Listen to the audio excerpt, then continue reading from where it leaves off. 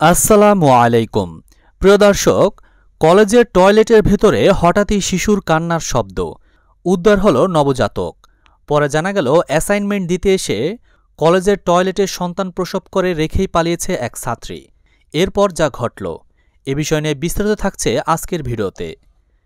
খাগড়াছড়ির সরকারি কলেজের টয়লেট থেকে এক নবজাতকে উদ্ধার করা হয়েছে। সদ্য ভূমিষ্ঠ নবজাতক কন্যা সন্তানকে ফেলে পালিয়েছে মা। টয়লেটের ভেতরে হঠাৎই শিশুর কান্নার শব্দ শুনে ওই নবজাতকের খোঁজ পান এক কর্মচারী।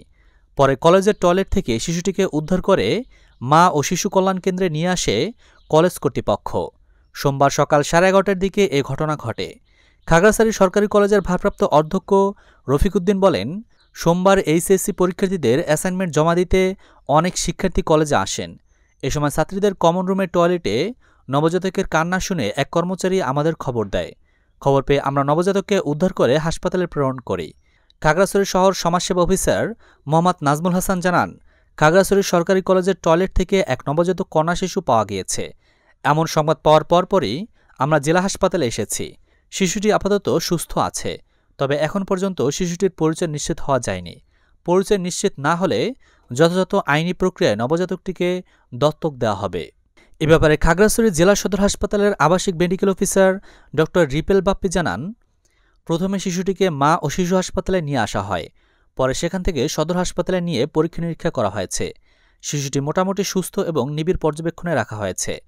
ঘটনার সত্যতা নিশ্চিত করে খাগড়াছড়ি সদর থানার ভারপ্রাপ্ত কর্মকর্তা মোহাম্মদ রশিদ, খাগড়াছড়ি সরকারি কলেজের কয়েকজন শিক্ষক সকাল সাড়ে এগারোটার দিকে শিশুটিকে উদ্ধার করে হাসপাতালে নিয়ে আসেন। বর্তমানে শিশুটি সুস্থ আছেন। আদালতের সিদ্ধান্ত মোতাবেক প্রয়োজনীয় আইনানুগ ব্যবস্থা গ্রহণ করা হবে। এদিকে, আগামী বারো সেপ্টেম্বর থেকে উচ্চ মাধ্যমিক পর্যায় পর্যন্ত শিক্ষা প্রতিষ্ঠান খুলে দেওয়ার সিদ্ধান্ত নিয়েছে সরকার। তবে শিক্ষা প্রতিষ্ঠান খুলে দেওয়ার সিদ্ধান্ত আসায় এবার বারো থেকে সতেরো বছর বয়সীদের করোনা ভ্যাকসিনের আওতায় আনার উদ্যোগ নিয়েছে সরকার।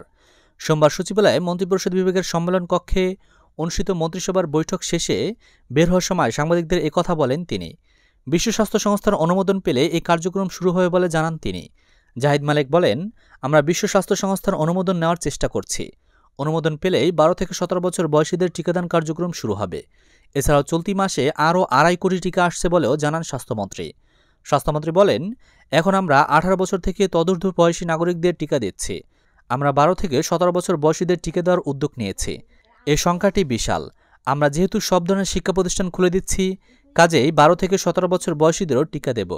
তবে এর আগে আমরা ডব্লিউএইচওর অনুমোদন নেব। বিনোদন জগৎ ও সাম্প্রতিক ঘটে যাওয়া সকল প্রকার আপডেট খবরাখবর সবার আগে পেতে আমাদের আর এস ভয়েস টিভি চ্যানেলটি এখনই সাবস্ক্রাইব করে আমাদের সাথেই থাকুন।